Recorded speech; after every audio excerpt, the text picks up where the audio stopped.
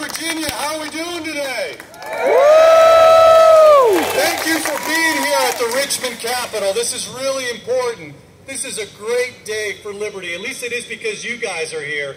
This is really important stuff. Did you talk some sense into those guys over there? Did you? Did you? Did you tell them that we don't need more gun control, that what we need is politician control? I hope you told them that we will remember in November. We are, right? Yeah. there we go. So, we are here today because of Governor Blackface Northam. My friend Maj Toure is going to be speaking in just a few moments, and he's going to talk to you about how gun control is racist in its origins and application, and that's what this governor is pushing. He wants to use the Virginia Beach tragedy to push his own agenda to restrict our Second Amendment protected rights. Never let a crisis go to waste. Have you ever heard those words, right? Remember that from the Obama administration? That's the motto of anti-gun Democrats today. Never let a tragedy go to waste, certainly like the one in Virginia Beach. The governor wants to make you less safe. He wants to make you more dependent on government for your protection. So he has a long list of restrictions that he wants to impose. For example, the governor says that universal background checks are going to make us safer. Hell no! Do you believe that? No! How well did that work in Virginia Beach? We all know the killer passed uh, at least one background check, if not more. In fact, if you look at the mass shootings that have occurred in this century, you would be hard-pressed to think of a mass shooting where the shooter didn't pass a background check. So how are background checks going to make us any safer? But that's not all. The governor wants to ban those evil assault weapons. Did anybody tell the governor that the killer in Virginia Beach used two handguns? You know, you just can't make this stuff up. See, that doesn't matter to the governor because you never let a tragedy go to waste. Then the governor also wants to repeal the the, uh, the, uh, the, the preemption law. He wants local governments to be able to impose their own local gun bans. But of course, the problem is not that we have too little gun control. The problem is that gun control is costing lives. If it wasn't for the Virginia Beach ban on city employees carrying firearms, have you heard of Kate Nixon? She would have had a gun that day. She told her husband she wanted to bring a gun to work that day because she was concerned about this guy who ended up being the killer, but she chose not to because she was worried about the local gun ban, which could result in her getting fired. So sadly, that decision to leave her gun at home was a fatal one for her and 11 other people. You know, like the shooting at Virginia Beach, almost 98% of the public mass shootings in this country occur where? Gun-free Gun-free zones, that's right. And of course, that's not making people any safer, is it? They're, they just become a magnet for criminals. I mean, look, let's face it. Bad guys don't go shoot up police stations or gun shows. They want to be where they're the only one with a gun. So they choose gun-free zones. And so here's the travesty. Kate Nixon was forced to choose between her job and her life. And that is a choice that no one should ever have to make. Are you with me on that? Yes. You know, the same day that Kate Nixon was murdered, the, the Wisconsin press was reporting on a Milwaukee woman who used her concealed gun to shoot a larger, more powerful male who was attacking her with a club. She used her own gu gun to shoot that guy and end the assault. But see, that's how you take care of business. A good gal with a gun gets the job done every time. But of course, that's the point that Governor Blackface seems to miss. Because time and time again, we see good people using guns to protect themselves to stop mass shootings. There was a firefighter in South Carolina. A doctor ended one in Pennsylvania. A husband on a date with his wife. How romantic. Stopped one in a Texas bar. An Uber driver in Chicago stopped a mass shooting.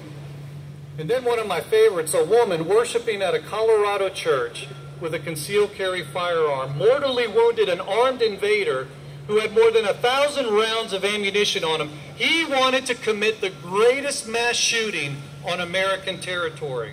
But there was just one thing that got in his way a woman with a gun. Because of her, because of her, not one person was killed inside the church except for the bad guy. You know, I could go point by point through the governor's proposals. Any one of us here could talk about and show how each one of those proposals would only make things worse, uh, uh, endanger us all the more. But I want to tell you the biggest problem is this. The governor and the anti-gun Democrats want to treat our rights like privileges. They want to treat them like favors that can be dispensed or withdrawn at will. But that's the problem because our rights do not come from government. They don't even come from popular opinion. Heck, they don't even come from a piece of paper like the Constitution, as good of a document as that is. No, our Declaration of Independence said it right. Our rights come from God. Going down to us by our Creator. And see, that's a game changer. Our rights we can't even give them up. They're not ours to give away, nor can they be restricted by the government. And that's why our Second Amendment says, shall not be infringed. Doesn't say you can have a background check or that you can criminalize private sales or that you can limit magazine capacity or that you can impose red flag gun confiscation orders. No. Shall not be infringed means just that. Keep your hands off our gun rights, Governor.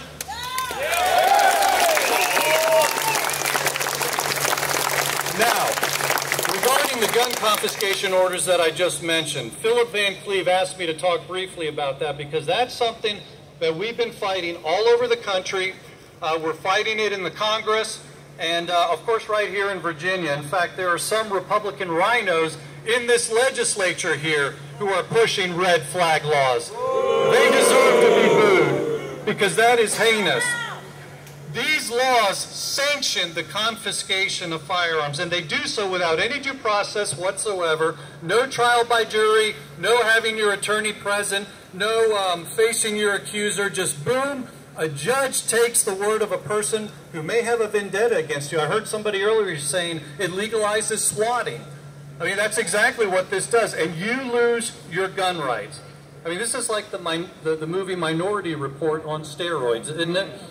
You know, we're going to take your guns because we think that you might, I repeat, might use it in the future to commit a crime. So much for being proven guilty beyond a reasonable doubt for something you've actually done.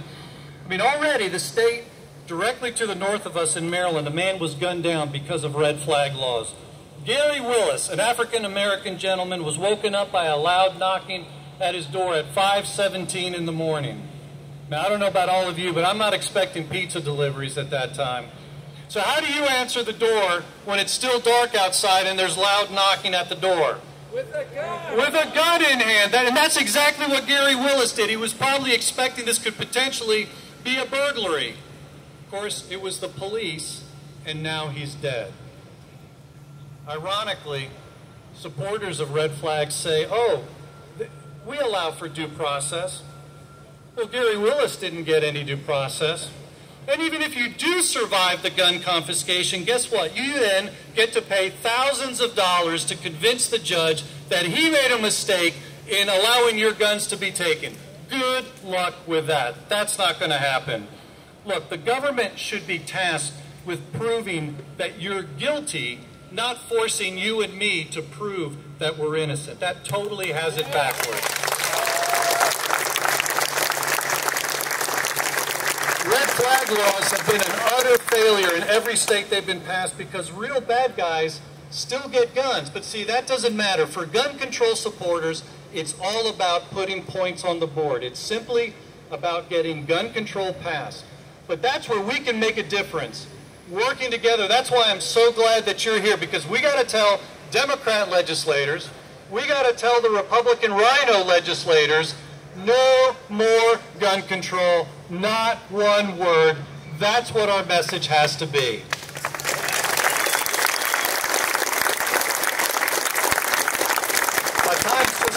So let me end with this, just as a word of an encouragement, because look, the liberal media makes a lot of noise in favor of gun control. They're trying to dispirit you and me. But here's the truth. There are now more constitutional carry states in this country than there are states imposing red flag laws. How about that? Freedom is advancing. Freedom is on the march.